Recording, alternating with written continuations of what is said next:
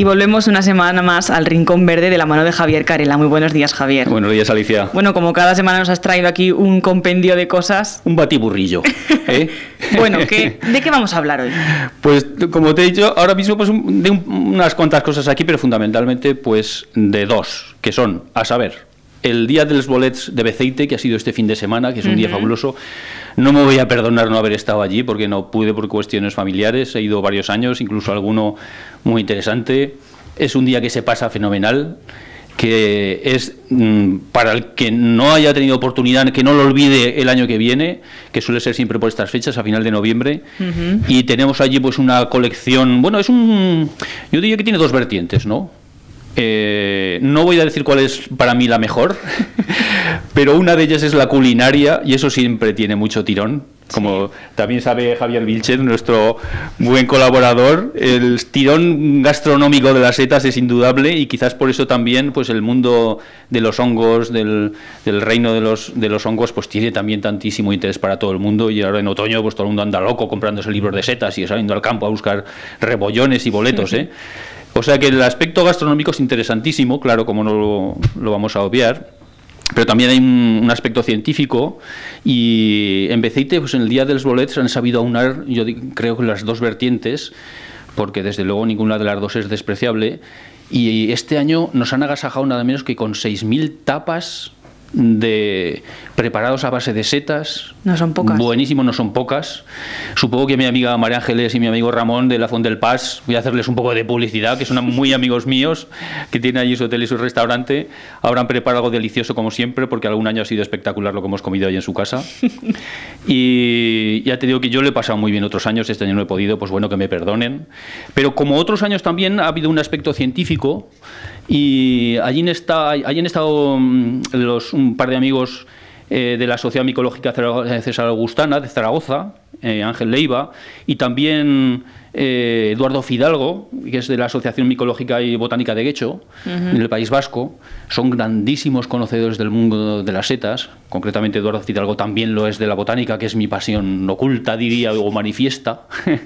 y y es espectacular lo que preparan todos los años, porque el que tiene un poco de conocimiento de lo que es el mundo de las setas, digamos que de, el que se ha iniciado con más o menos éxito en la afición está por la micología, vamos a hablarlo en plan científico, la micología es el estudio un poco más en serio de las setas, eh, sabe de la dificultad de lo que hacen ellos allí. Otros años han presentado, este año no ha habido mucha suerte.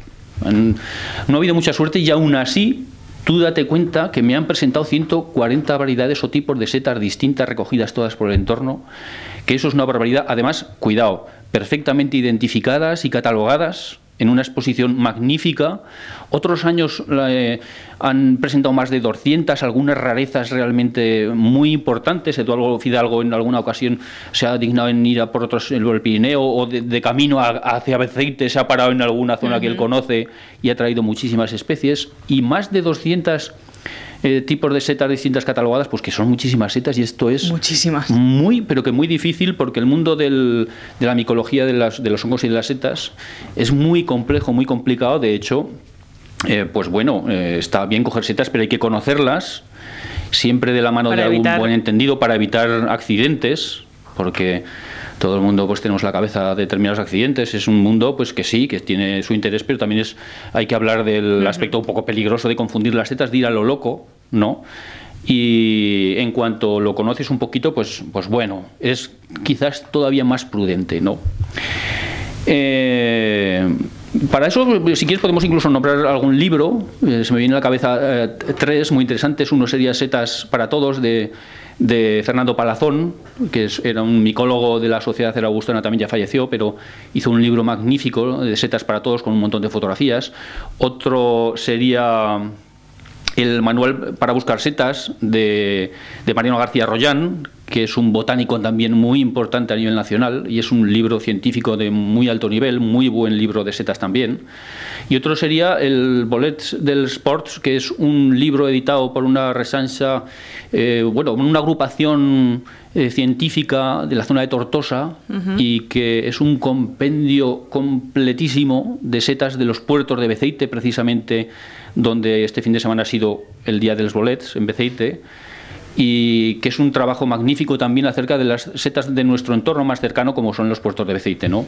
Todo ello para conocer eh, qué es lo que se puede coger y qué es lo que no se debe. y lo que no se debe coger pero también eh, tiene el interés, yo insisto, micológico y científico de disfrutar con el conocimiento de nuestro entorno, de la naturaleza y de, la pasión por todo lo que ello conlleva. ¿no?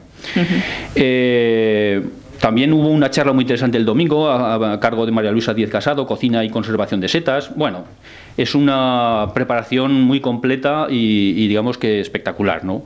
Y he traído, pues, pensando en eso, esta mañana me dado una vuelta por mm, la chopera que tengo debajo de Agrojardín, debajo de mi negocio, que estamos al lado del río. ¿Qué nos has traído? Que está aquí encima de la mesa. Bueno, yo iba por ellas ya. Ah. Y, no voy a decir el sitio concreto, pero bueno, en todas las vegas del río Guadalupe y del Martín. No quieres desvelar el lugar. Eh... Donde hay chopos y álamos y algún olmo, y a veces incluso en la base de algún latonero, pues salen las setas del chopo, que son buenísimas, es una de mis favoritas y he traído aquí una cesta para que podamos un poco eh, contemplarlas y ver, porque es una seta eh, deliciosa. Toma, coge una así. Esta es, esta es muy joven. Las setas cuando, eh, de la Agrocibe aegerita, que es el nombre científico de, la seta del chopo, cuando son jovencitas, son así redondeadas por encima de color marroncito. Después el sombrero se les va aplanando y se hace más blanquito y después, curiosamente, cuando se hace más viejo, pasa a, marrón y negro otra vez. Y es una seta buenísima, se puede preparar de muchas maneras. Yo soy muy sencillo para preparar esta seta, simplemente con un poquito de ajo, aceite de oliva virgen extra del Bajo Aragón y las setas troceadas así y no hace falta más, son exquisitas las setas de chopo y es una de mis favoritas, ¿no? Bueno, pues eh, brevemente coméntanos qué es lo que nos has traído aquí que está ocupando gran parte de la mesa. Como me he ido a buscar la seta de chopo, pero bueno, me he tropezado con un con otra gran seta de nuestra de nuestros sotos, que es un hongo yesquero, Fomes fomentarius, que es una seta que se alimenta de chopos y de álamos y de frondosas en un estado ya un poquito decrépito.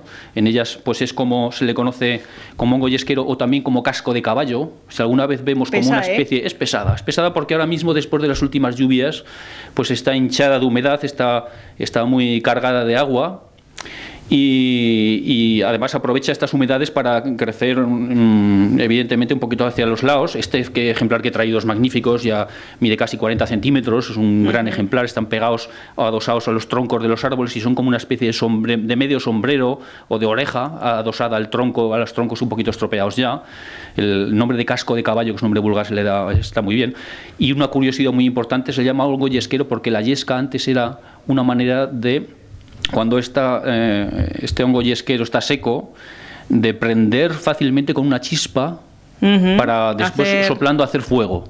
Y también tiene la particularidad de que una vez eh, ha prendido la brasa en esta seta se mantiene durante muchísimas horas en, una combustión muy lenta y muy, eh, muy despacito. Y entonces, simplemente es buena, para... es buena para mantener la lumbre. Bueno, Javier, pues nos hemos quedado sin tiempo, como cada semana. y muchísimas gracias por haber estado hoy con nosotros. Gracias a ti, Alicia. Buenos días.